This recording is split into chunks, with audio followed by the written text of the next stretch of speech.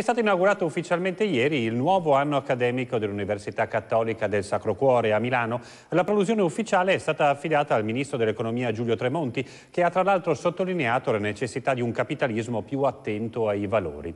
A inaugurazione, in qualità di Presidente dell'ente promotore dell'Università Cattolica, ovvero l'Istituto Toniolo, era presente anche il Cardinal Tettamanzi. Vediamo.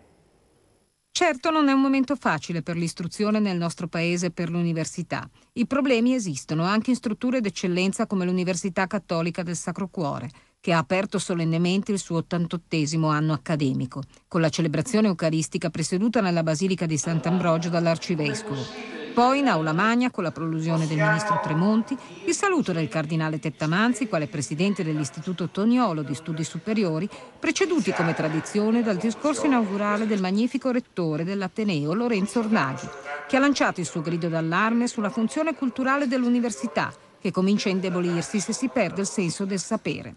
Noi siamo in una fase in cui intanto ci sentiamo come su un crinale, no? abbiamo nel paese ancora tante risorse, e però sperimentiamo tante difficoltà anche nell'azione quotidiana, nel nostro lavoro quotidiano e abbiamo davvero bisogno giovani che si preparino e che con competenza, che è essenziale, ma anche con rigore morale, diventino poi le minoranze creative che anche Benedetto XVI ha evocato più volte.